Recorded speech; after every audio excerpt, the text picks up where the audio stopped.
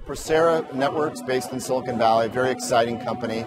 Uh, believe it or not, what we do is enable you, the subscriber of a mobile phone or a cable company, the ability to have a great experience. Our technology sits within the service providers networks to allow for great, uh, great experience. If that's on your iPhone, iPad, if you're at home through your cable network, uh, leveraging the internet, what we do is help the carriers make your experience better.